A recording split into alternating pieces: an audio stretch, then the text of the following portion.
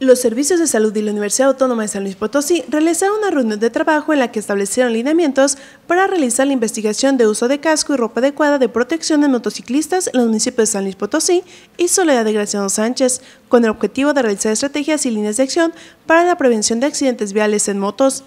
De acuerdo a datos de la Organización Mundial de la Salud, cada año se pierden 1.3 millones de vidas a consecuencia de accidentes en motocicleta y entre 20 y 50 millones de personas sufren traumatismos no mortales que en su mayoría provocan discapacidades entre los involucrados, por lo que el casco cumple tres funciones. Reduce aceleración del cráneo, es decir, absorbe el impacto, dispersa la fuerza del impacto y previene el contacto directo del cráneo con el objeto del impacto, actuando como barrera de protección. De acuerdo a datos del 2022, en el estado se han visto un incremento en el uso de cascos en quienes conducen motocicletas. El 68.2% de los usuarios portaban casco el momento de conducir en las principales vías de los municipios de San Luis Potosí y Soledad. Sin embargo, de estos, solo un 63.4 usaban casco certificado.